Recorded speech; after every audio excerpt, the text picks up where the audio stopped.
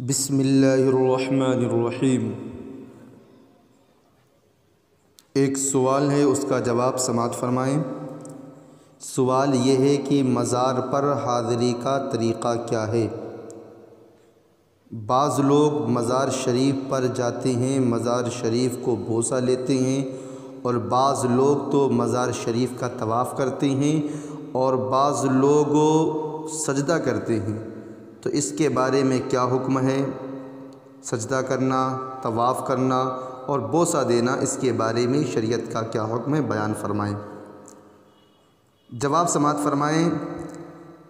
आला हज़रत इमाम अहमद रज़ा ख़ान रहमतुल्लाहि ताला अलैह मज़ारात पर हाज़री की तफसील यूँ इरशाद फरमाते हैं, मज़ारात शरीफ़ा पर हाज़िर होने में पाइती की तरफ़ से जाए और कम अस कम चार हाथ के फासले पर खड़ा हो और मुतवसत यानी दरमियानी आवाज़ में बाअदब सलाम अर्ज़ करे।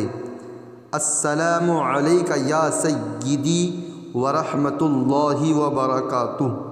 फिर दरूद गौसिया तीन बार, अल्हम्दु शरीफ एक बार आयतुल कुर्सी एक बार, सूरह इखलास सात बार, फिर दरूद गौसिया सात बार, और वक्त फ़ुर्सत दे, यानी अगर मौका हो तो सूरह यासीन शरीफ और सूरह मुल्क भी पढ़कर अल्लाह पाक से दुआ करे कि इलाही इस क़रात पर, यानी हमारे पढ़ने पर मुझे इतना सवाब दे जो तेरे करम के काबिल है, ना कि उतना जो मेरे अमल के काबिल है, और उसे मेरी तरफ़ से फ़ुला बंदे खुदा को नज़र पहुँचा।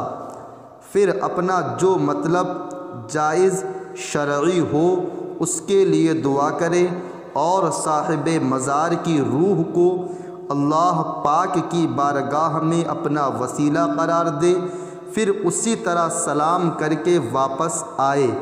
मज़ार को ना हाथ लगाए, ना बोसा दे और तवाफ़ बिल इत्तिफ़ाक़ नाजायज़ है। यानी मज़ार शरीफ का तवाफ़ करना, ये बिल इत्तिफ़ाक़ नाजायज़ है और सजदा करना हराम है। वल्लाह ताला आलम।